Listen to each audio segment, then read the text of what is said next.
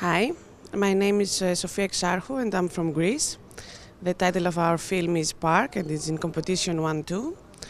Uh, the story of the film is about a group of teenagers who live in the abandoned Olympic village in Athens today.